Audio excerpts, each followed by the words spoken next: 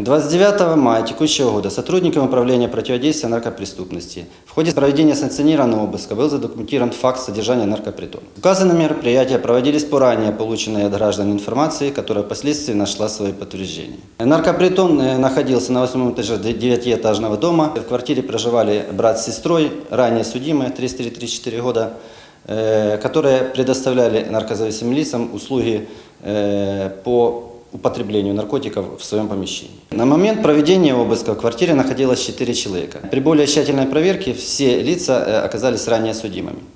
Э, Они там же изготавливали и употребляли психотропные вещества. Были взяты шприцы э, с психотропным веществом метамфетамин, колбы стеклянные, трубки, ватные тампоны с остатками психотропных веществ.